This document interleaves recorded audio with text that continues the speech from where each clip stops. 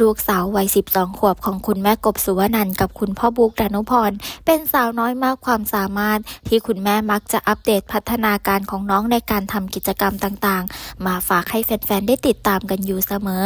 อย่างเมื่อเร็วๆ นี้แม่กบสุวนันก็ได้โพสต์คลิปของน้องนาดาที่รวมโชว์เต้นบนเวทีงานโรงเรียน ซึ่งน้องนาดาดูโตเป็นสาวมากขึ้น แต่ยังคงความน่ารักสดใสสมวัย ซึ่งคุณแม่ก็เผยที่ว่า